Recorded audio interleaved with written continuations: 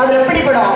In the same way, அதே மாதிரி தான் people can come against you, உங்க வாழ்க்கையில மக்கள் உங்களுக்கு எதிராக வரலாம். Situations can come against you. நிறைய நிகழ்ச்சிகள் உங்களுக்கு எதிராக வரலாம். If you refuse to get offended, ஆனா அந்த நிகழ்ச்சிகளும் அந்த மனிதர்களும் நீங்க காயப்படுவதற்கு நீங்கள் அதை அனுமதிக்கவில்லை என்றால் now you are overcoming the trap. நீங்க அந்த பொறியின் மேலாக அதை மேற்கொள்கின்றவர்களாக மேலாக சென்று விடுகிறீர்கள். Now the trap has no power over. இப்போ அந்த வலை அந்த பொறியானது உங்களுக்கு எந்த தீங்கும் விளைவிக்க முடியாது. Snares are dangerous, அந்த கண்ணி வலையானது மிகவும் ஆபத்தானது. They are deadly, அது மிகவும் சாவை வருவிக்கக்கூடியது they can destroy you, அது உங்களை அழிக்கக்கூடியது. They can destroy your family. உங்கள் குடும்பத்தையே அது அழிக்கக்கூடியது. But if you don't get consumed in the trap, நீங்க அந்த வலைக்குள்ளே நீங்கள் விழாமல் தப்பித்துக் கொண்டால் you don't get into offense, நீங்கள் மன காயப்படுதல் என்பதிலிருந்து தப்பித்துக் கொண்டால் you walk in love and forgiveness, நீ உங்களுடைய அன்பினாலும் மன்னிப்பினாலும் அதை நீங்கள் மேற்கொண்டால் now the trap has no power over you. இப்போ இந்த சாத்தானுடைய அந்த கண்ணி அல்லது பொறி உங்கள் மேல் எந்த விதமான அதற்கு சக்தியும் வல்லமையும் இருக்காது. Praise the Lord.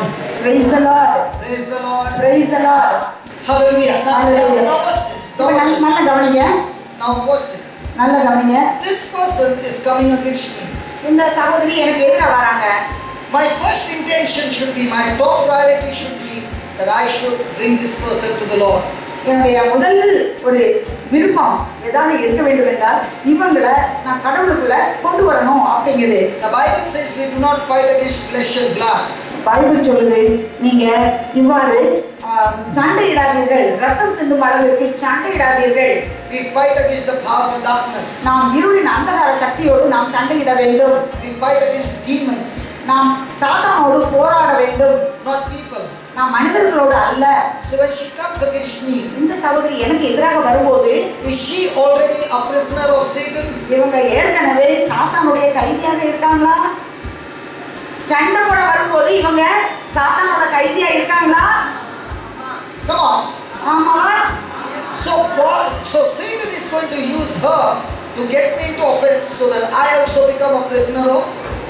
இவங்க சாத்தானோட கைதியா இருக்காங்க அவங்க எனக்கு எதிராக வந்து எனக்கு ஒரு காயத்தை மன காயத்தை ஏற்படுத்தி என்னையும் அந்த சாத்தானோட கைதியாக ஆக்கும்படியாக இவர்கள் வருகிறார்கள் Look at the verse 25. இருபத்தி அஞ்சாவது வசனத்தை பாருங்க He says, he says, those who come against you, those who come against you or do things against you or comment against you, uh, instruct those that oppose you with meekness. இதுல சொல்லியிருக்கு பாருங்க இருபத்தஞ்சு மாற்று கருத்துடையோருக்கும் பணிவோடு பயிற்றுவிப்பவராகவும் இருக்க வேண்டும்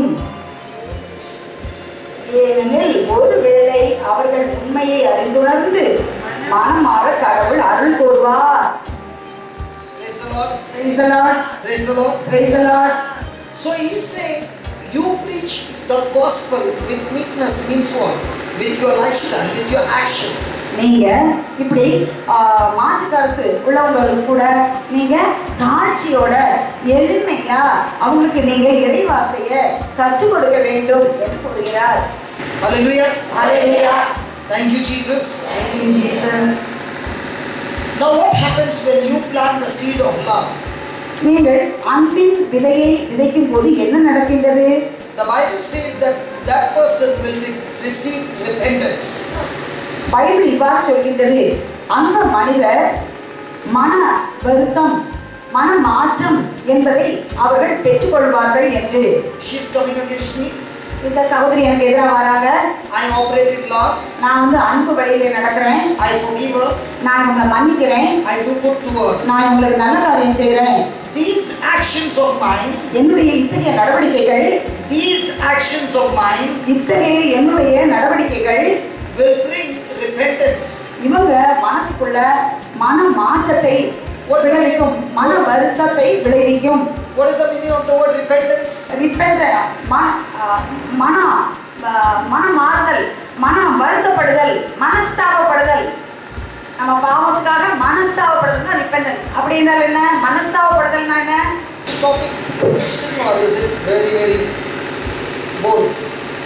இந்த தலைப்பு நல்லா இன்ட்ரெஸ்டிங்காக இருக்கா போர் அடிக்குது அவங்களுக்கு. எப்படி இருக்குது சொல்லுங்க. புரியுதா எல்லாருக்கும் உதவியா இருக்கா Do you want me to continue or change the topic? இதை சொல்லி தரணுமா உங்களுக்கு நல்லா? சொல்லி தரணுமா? Because my friend, everybody seated here, including me, I am also going through the same um, situations every day. Satan trying to get me into the trap on offense. அன்பானவர்களே இங்க நம்ம இருக்கிற நம்ம எல்லாரும் என்னையும் சேர்த்து தான் ஒவ்வொரு நாளும் சாத்தான் இத்தகைய வலையிலே நம்மை தள்ளுபடியாக நம்மை அந்த வலைக்குள்ளே அந்த பொறிக்குள்ளே நாம் அகப்படும்படியான காரியங்களை நமக்கு எதிராக செய்பவனாக இருக்கிறான் என் வாழ்க்கையிலும் சரி இங்க இருக்கிற நம்ம எல்லார் வாழ்க்கையிலையும் நம்ம அதை தான் அனுபவிச்சுட்டு இருக்கோம் In my 15 years with the Lord, I can tell you that this has helped me tremendously. And if today I've been blessed, it's because of overcoming the, the trap of Satan called offense. என்னுடைய பதினைந்து வருட வாழ்க்கையிலே நான் உங்களிடத்திலே சொல்ல முடியும். நான் எப்படி வாழ்ந்து கொண்டிருக்கின்றேன் என்றால் இந்த சாத்தான் வைத்த இந்த போதனை தான் சாத்தான் வைத்த அந்த பொறியில் அகப்படாமல் மனக்காயம் மனத்தாங்கல் மனப்புண்கள் போன்ற இந்த ஒரு வலையிலிருந்து இந்த பொறியிலிருந்து நான் தப்பித்து அதில் அகப்படாமல் வாழ்வதற்கு எனக்கு உதவி இருக்கிறது. Surely in your family there are people who offend you. உங்க குடும்பத்துல நிச்சயமா உங்களை காயப்படுத்துறவங்க இருப்பாங்க. There are people who hurt you. உங்களை மன புண்கள் மன நோக செய்யறவங்க இருப்பாங்க And you want that person to be changed. அந்த மக்கள் மாற வேணும்னு சொல்லி நீங்க நினைப்பீங்க And you're praying to God, God please change this person. அவங்களெல்லாம் ஆண்டவரே இவங்களுக்கு ஒரு மாற்றத்தை கொடும் அப்படின்னு சொல்லி நீங்க ஜெபிச்சுட்டு இருப்பீங்க Here is God giving you the solution. ஆண்டவர் இன்று உங்களுக்கு அதற்கு ஒரு தீர்வு கற்றுக் கொடுக்கிறார் That person will change only if you change. நீங்க மாறினாதான் அவங்க மாறுவாங்க I repeat again. That person will change only if you change. நீங்க மாறினாதான் அந்த நபர் நீங்க யார் மாறணும்னு நினைக்கிறீங்களோ அவங்க மாறுவாங்க When you change in love, நீங்க அன்பினால் உங்களிலே மாற்றம் ஏற்படும் என்றால் when you change with an unconditional forgiveness, நீங்கள் நிபந்தனையற்ற மன்னிப்பை கொடுப்பவராக இருந்தால் your action and your words உங்களுடைய நடவடிக்கையும் செயல்பாடும் உங்களுடைய வார்த்தைகளும் will bring the grace of God and lead him into repentance. ஆண்டவருடைய அருள் அவர்களுக்கு கிடைத்து அவர்கள் மனஸ்தாபப்பட மனம் வருந்தி தங்களுடைய தவறை உணர்ந்து நடக்கக்கூடிய ஒரு சூழ்நிலை உருவாகும் The life that you see of mine today, என்னுடைய வாழ்க்கை இன்று நீங்கள் பார்க்கின்ற இந்த வாழ்க்கையானது my life was not like this. என்னுடைய வாழ்க்கை இப்படிப்பட்ட ஒரு வாழ்க்கை அல்ல My life was, I had nothing to do with God. என்னுடைய வாழ்க்கையானது கடவுளோடு எந்த ஒரு தொடர்பும் அவரோடு நான் நினைத்து செய்யக்கூடிய எந்த ஒரு காரியமாக இருந்ததில்லை Did not want to go to church. எனக்கு கோவிலுக்கு போக விருப்பம் இல்லாத ஒருவன் நான் Life was in the clubs. என்னுடைய வாழ்க்கை முழுவதுமே கிளப்புகளிலே தான் கழிந்தது Life was sinful. என்னுடைய வாழ்க்கை பாவ வாழ்க்கையாக இருந்தது Life was totally on the wrong side. என்னுடைய வாழ்க்கை தவறான ஒரு வாழ்க்கையாக இருந்தது And in this wrong life, இந்த தவறான வாழ்க்கையிலே one day my mother, my wife came to know my. என்னுடைய மனைவிக்கு என்னுடைய தவறான வாழ்க்கை தெரிந்தவுடன். அவர்களுக்கு ரெண்டு தேர்வு இருந்தது தெரிந்து கொள்ளுதல் மன கசப்போடு என்னை விட்டு அகன்று போ போய்விடுவது. அல்லது தொடர்ந்து என்னை மன்னித்து வாழ்வது. அவங்க மன்னித்து வாழ்வது என்ற தெரிவை அவர்கள் தெரிந்து கொண்டார்கள் என்னுடைய மனைவி என்னை கோவிலுக்கு அழைத்து செல்வது என்ற தெரிவை அவர்கள் தெரிந்து கொண்டார்கள் போதிப்பவர்கள் மூலமாக இறைவாக்கை என்னிடம் கொண்டு வருவது எனக்கு கற்றுக் கொடுப்பது என்ற ஒரு தெரிவை அவர்கள் எடுத்துக்கொண்டார்கள் When I experienced the unconditional love of Jesus, ஆண்டவர் இயேசுவின் நிபந்தனையற்ற அன்பை நான் உணர்ந்து கொண்ட போது when I experienced the unconditional love of my wife and forgiveness, என்னுடைய மனைவியுடைய நிபந்தனையற்ற அன்பையும் மன்னிப்பையும் என் வாழ்க்கையிலே நான் உணர்ந்து அனுபவித்த போது it led me to repentance. அது என்னுடைய மனஸ்தாபத்திற்கு என்னுடைய வாழ்க்கையை குறித்த மனஸ்தாபத்திற்கு என்னை இட்டு சென்றது I made a decision என்னுடைய வாழ்க்கையை மாற்ற வேண்டும் என்ற ஒரு முடிவை அது எடுக்க வைத்தது I made a decision to change my thinking. என்னுடைய சிந்தனையை நான் மாற்ற வேண்டும் என்ற முடிவை எடுக்க செய்தது I made my decision no more sin in my life. என்னுடைய வாழ்க்கையில இனிமேல் நான் பாவனை செய்ய மாட்டேன் என்ற முடிவை எடுக்க தூண்டியது I made this decision to seek God and His Word. ஆண்டவரையும் ஆண்டவரையும் அவருடைய வார்த்தையை நான் தேடுவேன் என்ற முடிவை எடுக்க வைத்தது And the more and more I began to seek God, எவ்வளவு அதிகம் அதிகமாக நான் ஆண்டவரை தேட ஆரம்பித்தேனோ the more and more I was delivered from captivity. அதிகம் அதிகமாக சாத்தானுடைய அடிமைத்தனம் அதன் கட்டுகளில் இருந்து நான் விடுபட்டவனாக உணர்ந்தேன் Look into the 25th verse. இருபத்தி ஐந்தாவது வசனத்தை பாருங்க In meekness instructing those that oppose themselves, if godly adventure will give them repentance to the acknowledging of the truth. So the more and more you walk in love, the other person will receive repentance and he will also understand the truth. He will also acknowledge the truth. He will make that truth his life. எவ்வளவு அதிகம் அதிகமாக இந்த அன்பு பாதையிலே மற்றவர்களை மன்னிக்க ஆரம்பிக்கின்றோமோ அப்போது அவர்களும் இத்தகைய இந்த மன்னிப்பை பெற்று அவர்கள் உண்மையை உண்மை எது என்று தெரிந்து அந்த பாதையிலே வாழ்க்கையை அமைத்துக் கொள்பவர்களாக மாறுவார்கள் That's why he says he will recover himself from the snares of the devil. அவர்கள் இந்த சாத்தானின் கண்ணியில் இருந்து தப்பித்துக் கொள்ளாமல் தன்னை காப்பாற்றிக் கொள்பவர்களாக அவர்கள் மாறுவார்கள் என்று கூறுகிறது The only way you can free yourself from the trap of Satan is to repent and acknowledge the truth and make a decision to walk in love. இந்த சாத்தானின் கண்ணியிலிருந்து நீங்கள் உங்களை அஹ், காப்பாற்றிக் கொள்ள வேண்டும் என்றால் அதற்கு நீங்கள் செய்ய வேண்டியது நீங்கள் முதலிலே மனஸ்தாபப்பட வேண்டும் பின்பு உண்மையை நீங்கள் அறிந்து கொள்ள வேண்டும் அந்த உண்மையின்படி நீங்கள் வார்த்தை என்ன உண்மையை கற்பிக்கின்றதோ அதன்படி உங்கள் வாழ்க்கையை நீங்கள் வைத்துக் கொள்ள வேண்டும் அப்போது இந்த கண்ணியிலிருந்து நீங்கள் தப்பித்துக் கொள்ள முடியும் You will find that person who was in captivity, I was in captivity of Satan, doing all the sinful things, but praise be to God, I was set free from all those captivity, no longer carrying out Satan's will for my life, but now carrying out God's will for my life. நாம் நீங்கள் மற்றவர்கள் இந்த சாத்தானின் அடிமைத்தனத்தில் இருப்பதை நீங்கள் கண்டுகொள்ளலாம். நானும் சாத்தானின் அடிமைத்தனத்தில் இருந்தேன். ஆனால் அந்த அடிமைத்தனத்தை விட்டு நான் வெளியே வந்தபோது சாத்தான் என்ன விரும்புகின்றானோ அதை செய்யாமல் ஆண்டவருடைய விருப்பம் என்ன என்பதை தெரிந்து அதை என் வாழ்க்கையிலே நான் நிறைவேற்றுபவனாக நான் வாழ ஆரம்பித்தேன். So, how will I change a life? எவ்வாறு வாழ்க்கையானது? என்னுடைய வாழ்க்கையானது மாறியது? Coming against me, இவர்கள் இந்த சகோதரி எனக்கு எதிராக வரும்போது I get offended, நான் வந்து மனக்காயப்படுகிறேன் I will get into the trap along with her. நான் இந்த சகோதரி எவ்வாறு அந்த பொறியிலே அகப்பட்டுக் கொண்டிருக்கிறார்களோ அவர்களைப் போலவே நானும் பொறியில் அகப்பட்டுக் கொண்டவனாக மாறிவிடுவேன் But if hurting me, இவர்கள் என்னை காயப்படுத்தினால் I walk in love and forgiveness. நான் அன்பு வழியிலே மன்னிக்கக்கூடிய வழியிலே நான் நடப்பவனாக இருந்தால் It will bring a change in life. அவர்களுடைய வாழ்க்கையிலே ஒரு மாற்றத்தை அது கொண்டு வரும் She will repent. அவர்கள் மனஸ்தாபப்படுவார்கள் She will be set free from captivity. அவர்கள் அந்த அடிமைத்தனத்தில் இருந்து கட்டுகளில் இருந்து அவர்கள் விடுதலையை அனுபவிப்பார்கள் No longer carry out the will of Satan, சாத்தானுடைய விருப்பம் எதுவோ அதை அவர்கள் நிறைவேற்ற மாட்டார்கள் but carry out the will of God. ஆண்டவர் எதை விரும்புகின்றாரோ அதை நிறைவேற்றுபவர்களாக அவர்கள் வாழ ஆரம்பிப்பார்கள் Praise God. Praise God. So, how many of us want to be set free? எத்தனை பேர்? நான் இத்தகைய அடிமைத்தனத்திலிருந்து நான் விடுதலை பெற வேண்டும் நீங்க விரும்புறீங்க? எத்தனை பேர்? நான் இப்படி ஒரு அடிமைத்தனத்திலிருந்து நானும் விடுதலை பெறணும்.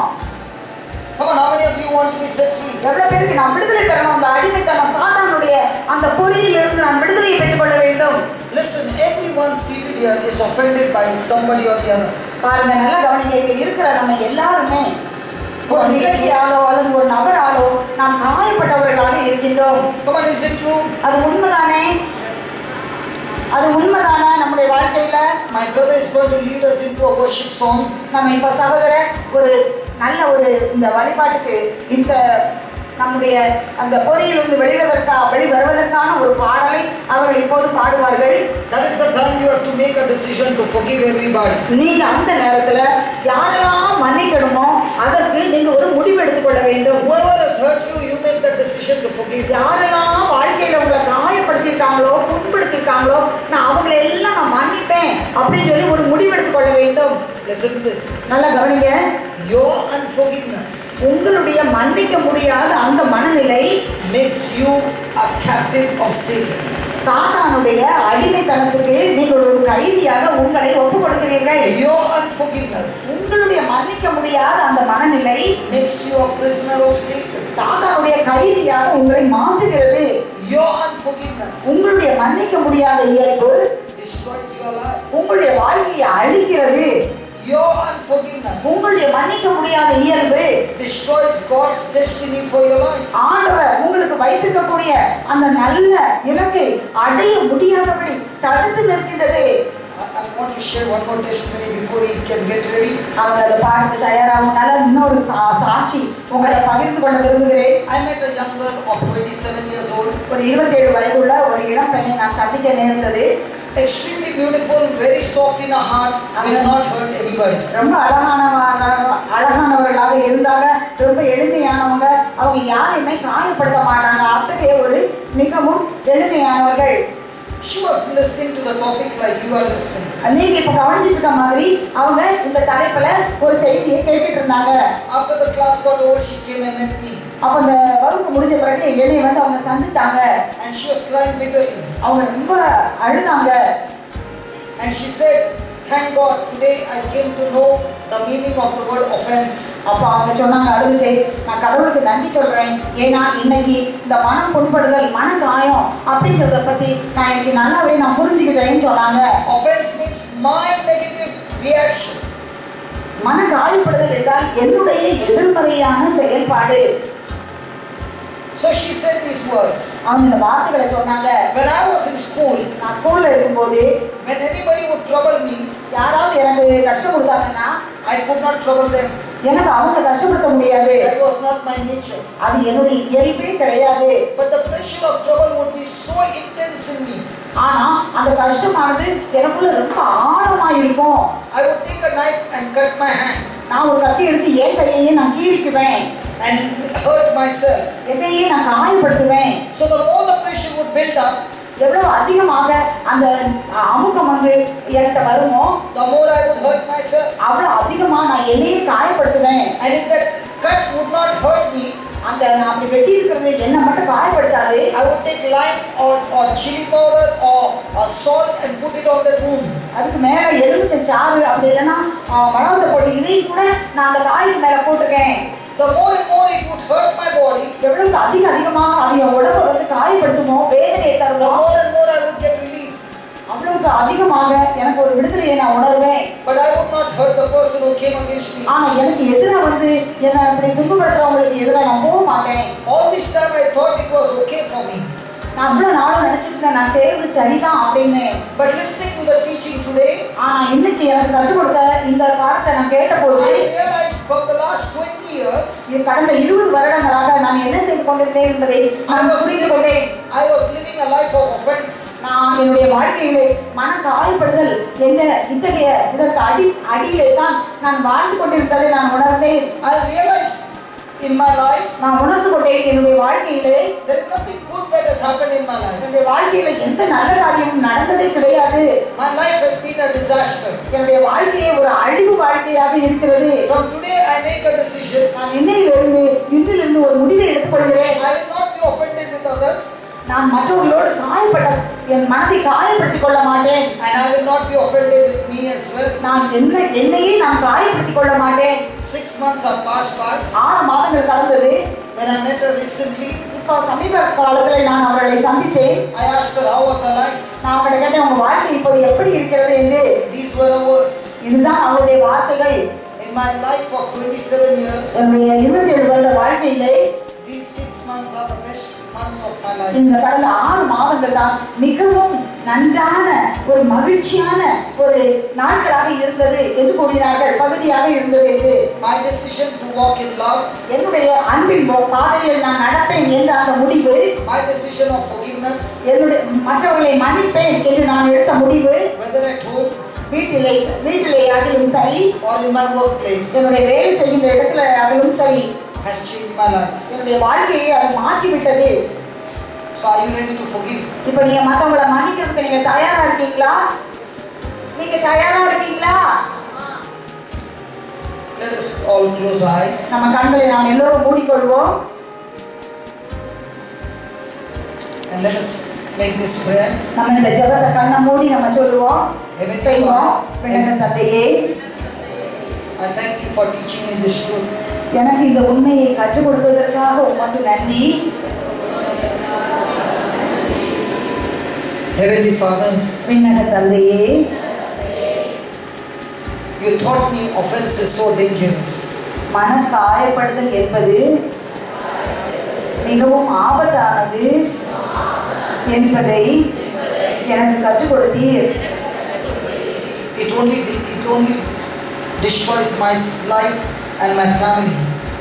மன காயப்படுதல் என்னுடைய வாழ்க்கையையும் மற்றவருடைய வாழ்க்கையையும் பாழாக்குகிறது என்பதை புரிந்து கொண்டேன் All this life I've been living as a prisoner of Satan. இவ்வளவு காலமும் என்னுடைய வாழ்க்கையிலே நான் சாத்தானின் கைதியாக வாழ்ந்து வந்தேன் I have been in this captivity and carrying out the will of Satan. நான் இத்தகைய கைதியாக இருந்து சாத்தானுடைய விருப்பத்தை நிறைவேற்றுபவனாக வாழ்ந்து வந்தேன் But right now I repent to mighty God இப்பொழுது ஆண்டவரை கடந்த கால வாழ்க்கைக்காக நான் மனம் வருகிறேன் decision to walk in unconditional love and forgiveness. நிபந்தனையற்ற அன்பு மூலமாகவும் மன்னிப்பின் மூலமாகவும் எனது வாழ்க்கையை அமைத்துக் கொள்ள விடுகிறேன் I refuse to walk in strife. நான் சண்டை சச்சரவின் படியே இனி நடக்க மாட்டேன் In the name of Jesus, I shall be gentle to all men. ஆண்டவர் இயேசுவின் பெயரால் நான் எல்லோரிடமும் கனிவு காட்டுபவராக வாழுவேன் ready to teach with patience. பொறுமையோடு மற்றவர்களுக்கு கற்றுக் கொடுப்பவராக இருப்பேன் In meekness, instructing those that oppose me. எளிமையோடு எனக்கு எதிர்ப்பவர்களுக்கு நான் அறிவுரை வழங்குவேன் ஆண்டவரே இப்போது நான் புரிந்து கொள்ள ஆரம்பித்திருக்கிறேன் my seed of love and forgiveness will bring repentance in the lives of others. என்னுடைய அன்பு மன்னிப்பு என்ற விதைகள் மற்றவருடைய வாழ்க்கையிலே மனஸ்தாபத்தை ஏற்படுத்தும். அவர்கள் உண்மையை ஏற்றுக்கொள்வார்கள் They shall recover themselves from the snares of Satan. அவர்கள் சாத்தானின் கண்ணியிலிருந்து தங்களை